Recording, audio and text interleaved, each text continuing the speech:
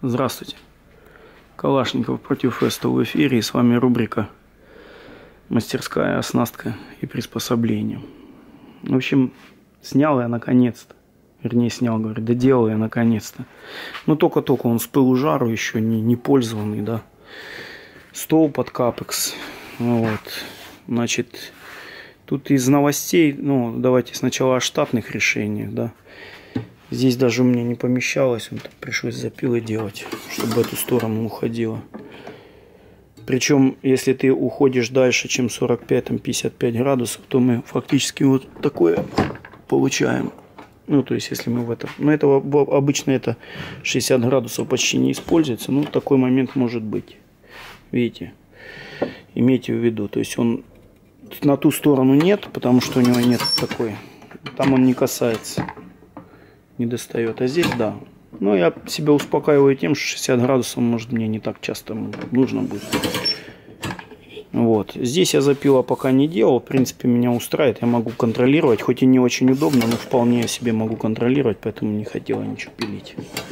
Как вы видите, это все по наитию делалось. Первоначально вот такой вот был параметр этого дела. Потом пришлось упилить. Потому что когда ты делаешь материале, у тебя вот такие вот приколы и, вы, и вылазят потом. Абсолютно, ну, это нормально абсолютно. Значит, что дальше? У меня здесь вот рулеточка наклеена. Я ее решил не там не точнить, потому что все еще зависит от заточки диска, потом результат. Поэтому такой старый принцип, то есть две кнопки. Вот. И, пожалуйста, мы освободили. Если нужно снарядиться, то поставили одну вторую кнопку. Вот. И это все дело здесь зафиксировали.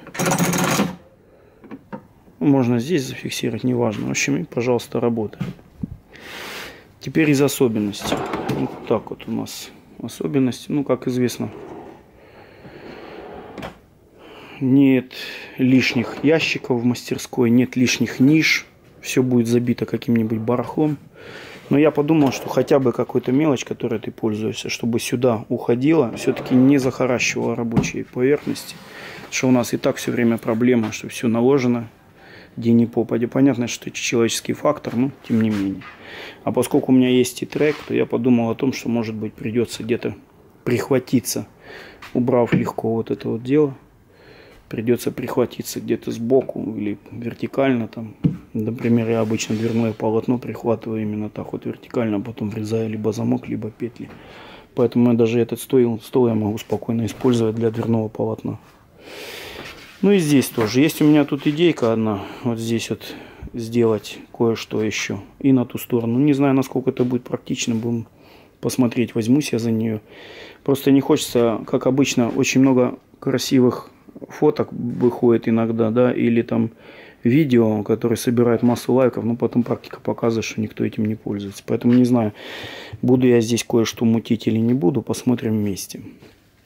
Значит, что еще из особенностей? Из особенностей есть у нас, ну видите, да, у меня тут все от это самое. Значит, для шланга я сделал отверстие вот, но если понадобится, чтобы при, вообще к стене, то могу и здесь его сделать. Ну, в принципе, меня устраивает, у меня нет такой потребности прям прям под стену. Посмотрим вместе. Может быть, даже вырез можно сделать. Ну, это, может, оно и не понадобится. То есть, как мы видим, я здесь себе устроил склад-магазин. Очень удобно, вертикально понабивал направляшками. Вот, пожалуйста, любой типа размер. Ну и из особенностей тоже – вот сейчас кнопки могут заблокировать. Вот. Снимем. Тоже такой момент. И здесь я хотел фасады накладные сделать, ну, внутренние. Но теперь я просто ручку сделаю и все. Ну, значит, тут, соответственно, и там тоже еще один ящик. Это барахла, как мы видим, еще реально с пылу жару. Здесь теперь, поскольку тут утоплено, то я сделаю ручку, которая не будет совершенно никого беспокоить. Вот. Вот такие вот вкратце, в общем, в принципе, как обычно, я использовал всю нашу оснастку ассистентовскую, тетраки, линейки, кнопки, флипстопы. Ну, довольно удобно пока. Пока ничего не могу из нареканий, ну, кроме таких, да, каких-то непредвиденных пока ничего не обнаружилось. Обнаружится, обязательно расскажу. Спасибо за внимание. Надеюсь, вам было интересно.